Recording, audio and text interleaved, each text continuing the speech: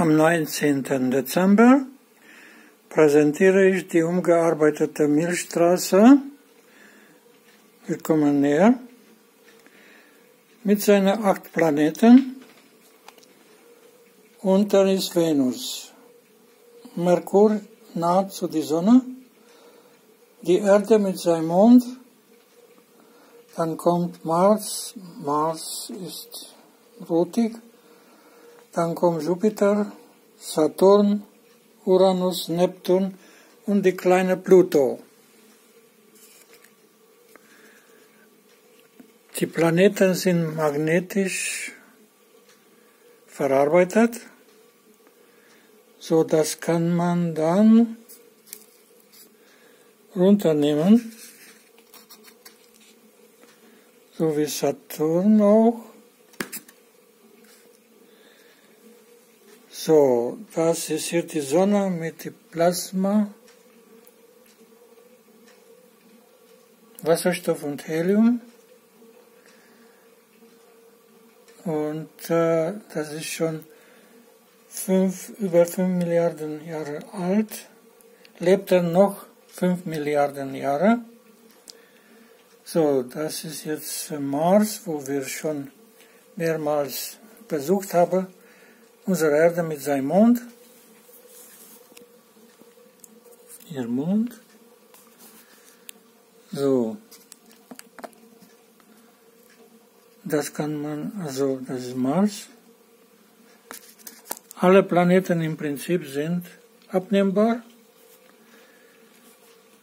So, das ist die Sagittarius A Stern mit seinem schwarzes Loch ein massereicher schwarzer Loch. So, hier haben wir ein anderes riesen schwarzer Loch. So, Galaxien, Supernova, Kuipergürtel.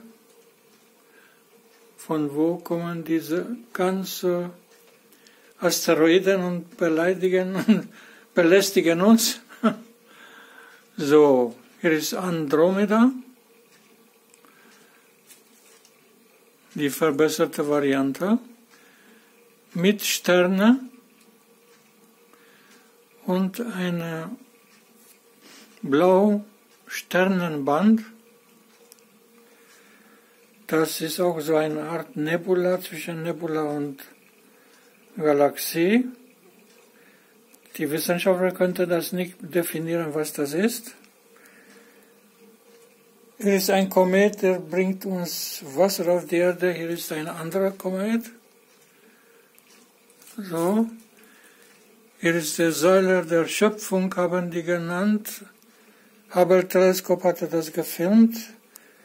Da werden viele, das ist das Geburtsort der Sterne.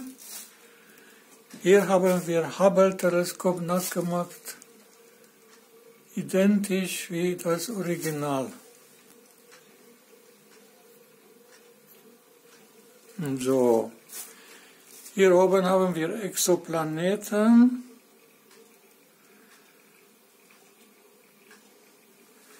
Wir haben unsere Ehrung für Einstein. Das, sind, das ist ein Superstern, supermassereicher Stern, Exostern, Canis Majoris. Jetzt kommen wir unten, ist eine Spiralgalaxie mit Tausenden von Sternen. Neutronenstern, eine Explosion von einem Stern, und dann sind die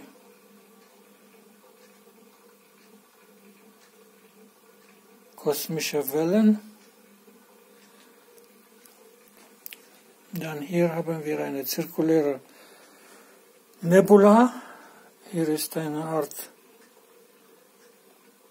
Fisch oder Delfin. Galaxie. Hier ist eine massereiche, eine von den größten massereichen schwarze Loch Das ist alles magnetisch. Und hier ist ein Wurmloch, wo man verreisen kann und wo ganz anderes rauskommen kann. Also den kann man kürzen. Und mehr Geschwindigkeit und mehr Zeit. Also Zeit ist relativ. Also ich habe zur Ehrung von Einstein auch eine kleine Exoplanet hergestellt, hier, mit seiner Formel E gleich mc Quadrat. Das ist hier eine große, massereiche Exostern.